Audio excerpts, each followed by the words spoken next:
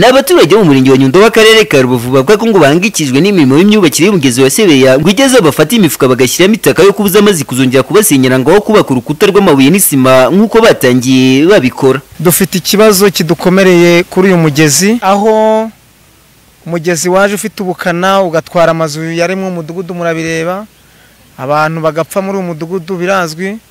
Ah, nyuma yaho rero ubwo twari twiteze ko mu kuwubungabunga yenda bazadushyiraho inkuta zikomeye z'amasima n'amabuye bakabibetona nk'uko bari babitangiye. Ariko bageze hano nyirizina mu mago menshi y'abaturage hano mu mudugudu ahantu hatuwe tubona bashyizemo imifuka ni- n'itaka. Reka nkubwire kugeza iyi saha naho ntuye.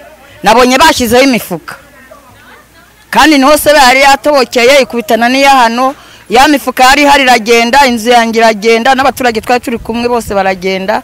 None cya bya bindi byo mwavuze ngo ntabwo ni byo muje kudukiza ahubwo twabonye ari byo bagaruyeho imbere y'iwanjye. Badushyinguye ni nk'aho baduhambye bongeye baduhamba bwa kabiri. Kuko nese be inagarutse n'ubundi yakongera igakuraho n'uwari wasigaye bakomeza bavuga ko ngo bateye impungenge n'urukuta rw'imifuka n'itaka ngo kuko n'ubushize kugira ngo basenyerwe na sebeya ngo byatewe na cyo ahari hari imifuka ni ho yanyuze cyane abantu barapfa. Ubwo rero dufite ubwoba cyane kubera ko tubona bari gushyiraho imifuka. Ubwo bari abantu batangiye kubaka iby'imifuka bari kugira ngo twongere tubure abantu ejo bundi hara hepfo ubwo njye nafashe icyemezo ko ndakora raporo. Irajya ku kagari ikajya no ku murenge no ku karere kuko bira ntabwo byemewe. Niba ari yira gahunda bakomeje natwe turarekarama kabisa nganjye nga mudugudu. Ntabwo nshaka kongera kubona impfu z'abantu hano mu mudugudu. Ni kubyibazaho nanjye bika- bikancanga impamvu bamwe hamwe ari isima n'amabuye ahandi akaba ari imifuka n'itaka. Ku hepfo batangije urukuta rwa sima n'amabuye haruguru ku kiraro batangiza urukuta rwa sima n'amabuye bageze hano mu baturage bashyizemo imifuka n'itaka. Ubwo rero bari abantu batangiye gushyiraho iby'imifuka kabisa nga mudugudu wa kiziguro ndabivuze biriya bintu byo barimo ntabwo tuzabyemera habe na gatoya. Bakomeza bavuga ko ngo rwiyemezamirimo yabapfunyikiye amazi ngo kuko nta burambe bw'imifuka n'itaka kuri uyu mugezi wa sebeye ubundi imifuka iyo ushyizemo itaka ntabwo yamara amezi atanu atandatu ubwayo itari yashwanyagurika ngo ibore. Ubwo rero iyo imaze kubora byose bihinduka itaka gusa. Ubwo rero amazi yaza agakundura ajyana. Bivuze ngo nta ntabwo ubutabazi bw'imifuka n'itaka mu mudugudu wasenyutse gutya ari bwo twari twiteze. Nanone kandi bakomeza basaba inzego z'ubuyobozi ko ngo zakurikirana iby'iki kibazo. Leta yacu ni umubyeyi kandi ureberera abaturage eh, wifuza ubuzima bwiza ku baturage. Batumenyera niba koko ingengo y'imari yarashize aho bari gushyira sima bakahashyira umucanga aho bari gushyira beto n'ibuye bakahashyira imifuka. Baturebera niba koko ingengo y'imari yarashize ubundi bakamenya icyo badukorera ariko mu gihe tugituranye na sebeya sebeya iporotejwe n'imifuka tumeze nk'aho ubuzima bwacu buri bugiye mu kaga kubera iyi mifuka mureba n'iri taka. Ahubwo mutubarize icyo kibazo kuki mwaduhaye inkunga y'ibintu bikomeye bakaba bashubijeho bya bindi bya- byatwangirije? Turasaba ko ahantu bari gushyira imifuka bayihakura igihe cy'imvura kitari cyongera kugaruka. Ku murongo wa telefone BTN TV iganira na Nyansengiyumva Monique umunyamabanga nshingwabikorwa w'umurenge wa Nyundo yadusubije muri aya magambo agira ati poroje ni uko ari urukuta rw'amabuye. Ngo ubwize ukuri n'ubu twari mu nama ku karere na mbere yaho n'ejo bundi twakoze indi tugenda tubigarukaho. Ntabwo twe nk'abayobozi bigeze baduteguza ko hari hari ahantu hazashyirwa imifuka. Icyifuzo cy'abaturage ngo ni uko bakubakirwa ibikomeye kandi bifite uburambe nk'uko babyemerewe n'umukuru w'igihugu perezida Paul Kagame. Jacques Tuyishime iyi ni BTN TV mu karere ka Rubavu. Nyuma yo kugira ubumuga budakira yakuye ku ngaruka za jenoside yakorewe abatutsi mu gihumbi kimwe magana cyenda mirongo cyenda na kane. Uyu muturage witwa hategekimana jean bosco utuye mu murenge wa bumbogo akagari ka nyagasozi mu mudugudu wa nyiramugarura avuga ko ngo yafashwaga na farije mu bijyanye no kwivuza ndetse kandi bakamuha amafaranga angana n'ibihumbi mirongo itanu yamufashaga mu bijyanye n'ingendo ndetse no kuba yabona imiti mu buryo bworoshye.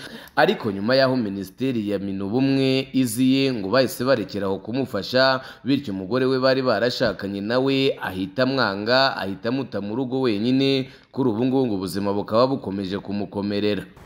Mfite ikibazo nkomora gikomoka kuri jenoside. Mfite amasasu riri mu bihaha kugira ngo no mu mutwe hari aho babazemo Ah, akaboko kamwe na- n'akaguru ntabwo bikora. Kubera icyo kibazo cy'izo ngaruka zose. Rero nivuza ibyo byose byankuriyemo ubumuga bwo guhora nivuza igihe cyose. Bihoraho.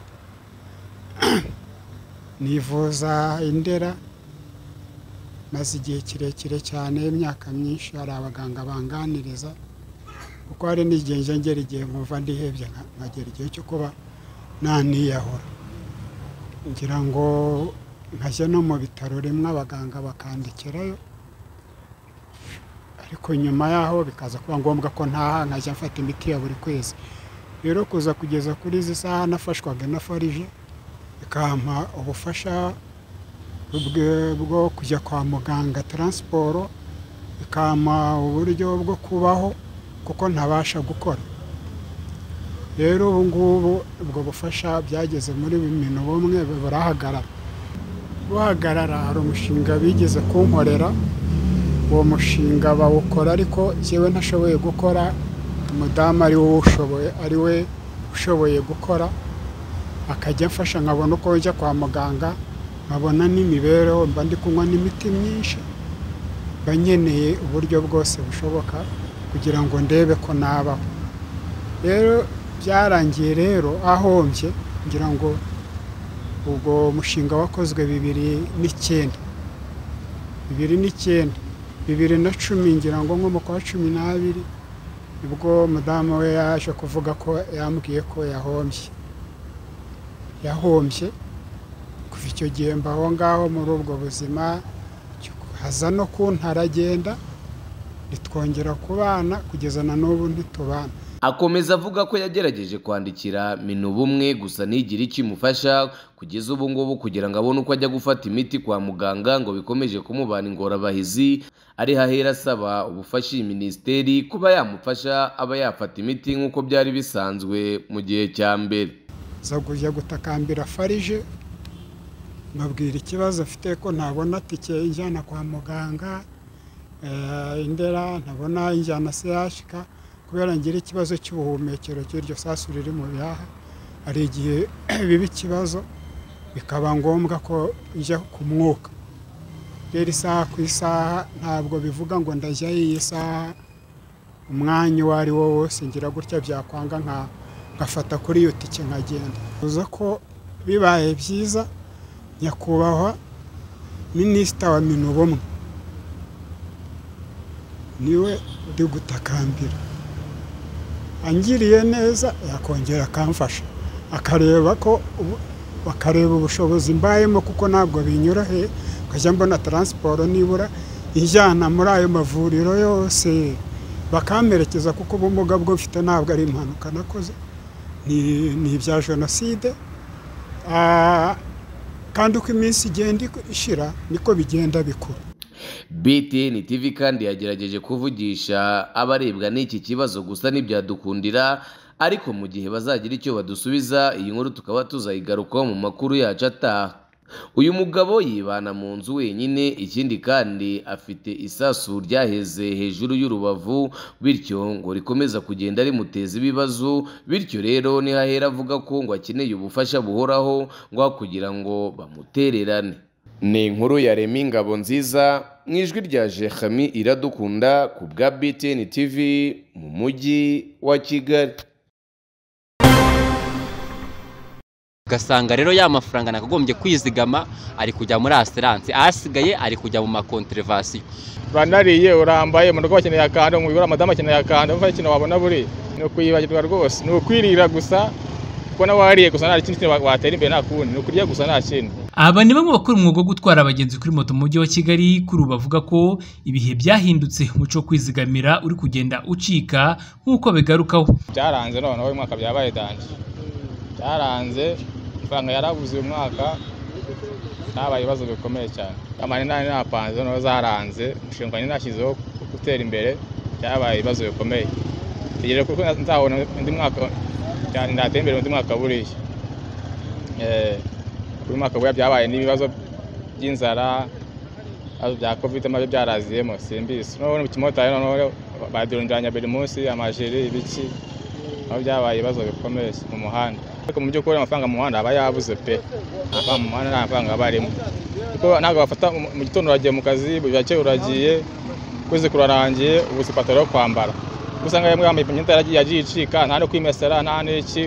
Iyo madamu yakubona ati mu- mu- umugabo wanjye yagiye- mu kazi. Kwizigamira byaranze iyo wagiye mu muhanda na polisi akakwandikira yamara kukwandikira ukabura ubwishyu ukabura uko muri ubwishyu ugasanga moto baranayitwaye kubera amafaranga mu muhanda yarabuze bikaba ikibazo gikomeye cyane. Mu kwizigamira ntabwo wakizigamira rero muri iki gihe ntabwo wakizigamira. Amafaranga yaranabuze bikomeye cyane. Aka kazi dukora dusabwamo ibintu byinshi. Bitwara amafaranga kandi twe tukabona amafaranga makeya. Ubwo rero kwizigama ntabwo twizigama neza nk'uko mbere twizigamaga. Kwizigama kwa motari ibyo ibyo byabaye nk'inzozi. Ntabwo bigishoboka. Kubera ko urareba ibyo motari abazwa bakomeza basobanura bimwe mu byo basabwa birenze ubushobozi bwabo bituma batabasha kwizigamira. Eh, urugero nka sirasi dutanga sirasi iri hejuru cyane. Wareba ugasanga wakuba n'u- n'ukwezi amafaranga wakoreye ugasanga ntabwo ari ni makeya ntabwo bikunda Eh, ugasanga nyine umutari imatahira kurya no kunywa amazi nta kindi amafaranga ni make na yo. Urugero nkanjye ndi umugabo ndubatse. Mbere najyaga nsiga ibihumbi bitatu ibihumbi bine nkamenya ngo madame ya ari burye amanywa nijoro. None ubu ngubu musigira inoti ya bitandatu nagira no mu rugo akansaka. Kavuga ati ese nta kindi kintu kiri nta na kimwe. Kubera iki? Nanyweye esanse ni ukuvuga ngo ubu tuvugana umuntu ari kugenda kuri sitasiyo akanywa birindwi. Yanywa birindwi agakorera bya birindwi. Muri make ubu ngubu ni uko nga kwicara ubundi nta kazi turimo. Ntacyo nta kintu turimo turakora. Noneho indi mbogamizi dufite idukomereye cyane. Usibye seranse dufite ikibazo cya- cy'amakonterevasiyo ntumenya bakwandikiye gute wajya kubona ukabona moto iri mu bihumbi magana atanu harimo n'abafite za miliyoni icumi ujya kuri banki ntajya yongeye kubitsa cyangwa ngiye kubikuza. Urumva ko rero ubu tuvugana niba n'iwanjye mu rugo tutagihaga n'igikoma gisigaye ni ukuvuga ngo n'abana basigaye bari bagiye igikoma. Ni ukurya rimwe saa cyenda gusa ubundi nijoro mukanywa igikoma mukaryama. Ubuzima ni ubwo bwa motari ngenda ndabona eh, noneho wakubitaho n'ibiciro byo ku isoko biri hanze aha? Mbese ubuzima bwa motari bwo ntabwo. Ugasanga rero ya mafaranga nakagombye kwizigama ari kujya muri asiranse asigaye ari kujya mu makonterevasiyo uze kwitegereza uyu mujyi wa kigali urasanga abamotari hafi ya bose bambaye imyenda ishaje n'inkweto zishaje. Kubera iki? Mbere motari ni we wari umusirimu mu mujyi wa kigali ariko ubu motari ni we mukene mu mujyi wa kigali. Mu cyifuzo cyo basaba ko abakora umwuga wo gutwara abagenzi kuri moto bakoroherezwa kuko batoroherewe. Nuko wenda ba- bagira bashyiramo inyoroshyo kuri asirasi tukaba tukaba mbega umwuga wacu dukora tukabasha kubona natwe ko twagira icyo twisevingira tukaba twakwivirisa nka ku kwezi byibuza tukabasha natwe gutunga imiryango. Ariko ubundi ntako tubayeho neza rwose. Siransi bakareba ukuntu ba- bayigabanya bayigabanya none njya numva ngo leta ishora muri byinshi mu mavuta ngo ibe yatwongereyeho. Wenda ikagira ikadusayidira no muri asiransi ikagira ikintu itwongereraho. Wenda asiransi ikagabanuka ikagera nko ku bihumbi ijana. Ikibazo cy'abatwara abagenzi kuri moto n'imbogamizi bahura na zo si ubwa mbere byumvikanye mu itangazamakuru. Ari na byo bahuza nka zimwe mu mbogamizi zikomamo nkokora kwizigama kwabo. Bagasaba inzego zirebwa n'iki kibazo kuba zabafasha nk'uko zabakuriyeho amakoperative n'abayobozi bazo baburizagamo imigabane n'ubwishyu budafite ubusobanuro. Janvier Kamanzi BTN TV mu mujyi wa Kigali.